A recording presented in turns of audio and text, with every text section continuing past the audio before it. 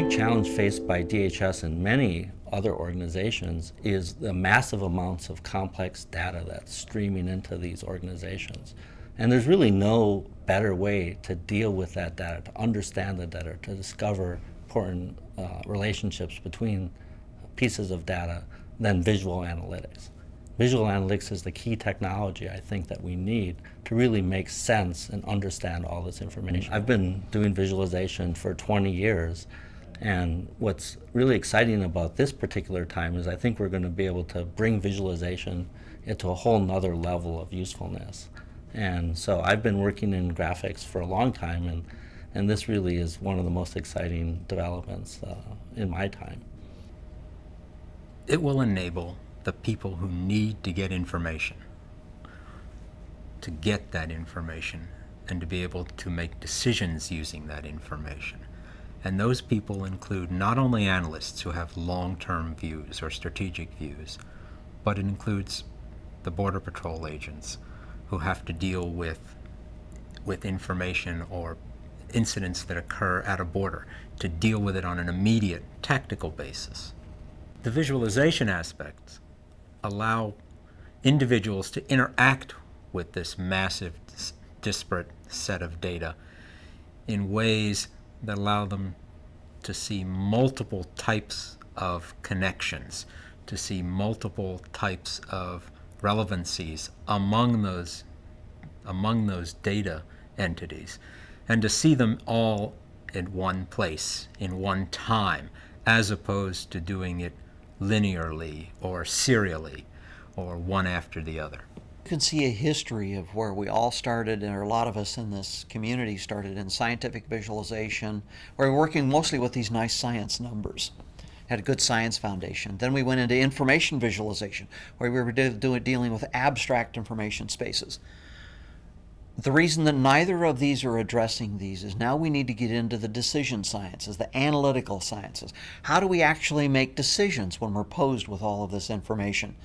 And that requires different disciplines that are traditionally involved in these two core sciences. It involves decision sciences, cognitive and perceptual scientists on a whole different degree, but it also in, involves the, the database the folks and the knowledge engineering folks. How do you represent information? How do you build knowledge structures that can then be used in order to, in order to make decisions based upon these structures? So it's a much broader science agenda.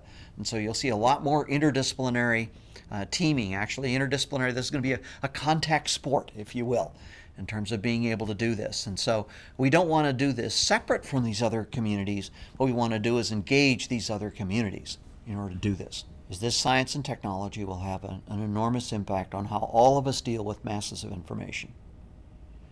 You know, its time has come. Now is the right time to do it. And we've used the phrase detecting the expected and discovering the unexpected.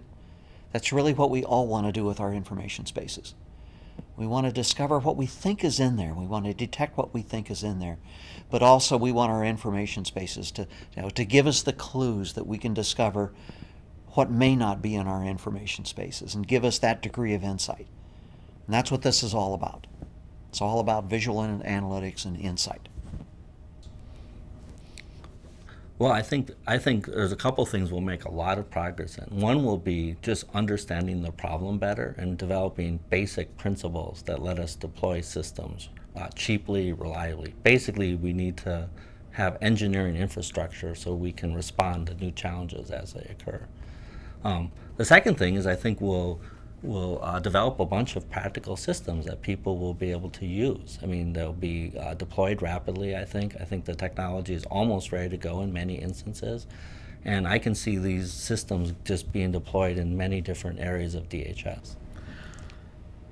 In five years, I envision not an NVAC, but I envision a consortium uh, nationwide, or if not even nationwide, global activity in visualization and analytics. I envision a consortium of, indi of individuals, of institutions, of government agencies that are all working toward developing visual analytics science and technologies. That's the goal of this activity for S&T It is to create that foundational base on which a worldwide effort in visual analytics can be sustained.